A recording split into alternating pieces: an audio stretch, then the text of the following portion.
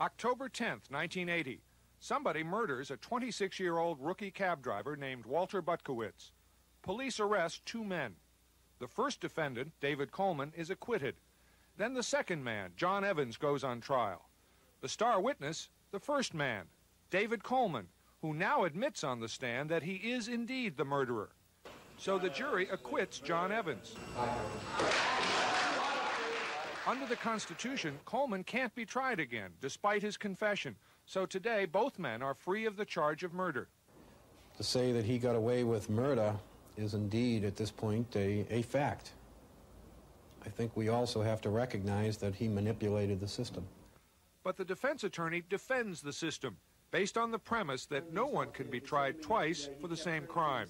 The state should only be allowed to have one bite at the apple. The idea that they can keep coming back would traumatize and torment people and is clearly unfair. That is the constitutional theory taught here at Harvard Law School and around the country. Part of the price of liberty, part of the price of the Bill of Rights, is an occasional mistake, and if we're going to make a mistake, an occasional mistake on the side of freeing the guilty rather than convicting the innocent. Professor Dershowitz says the Coleman acquittal was a mistake, and the victim's father calls it a travesty. But despite outcries of injustice, even the prosecutor who lost the case says he wants to preserve the system.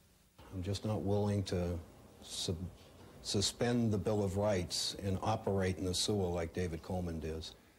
But even though he can't be tried again in this courtroom for murder, David Coleman faces another kind of jeopardy just as serious. Prosecutors are looking at what he said here to try to indict him for perjury. If they succeed and convict him, the same confession that outraged so many people will have been turned against him. And ironically, the penalty for perjury in a murder case in this state can be the same as for the murder itself life in prison. John Martin, ABC News, Boston.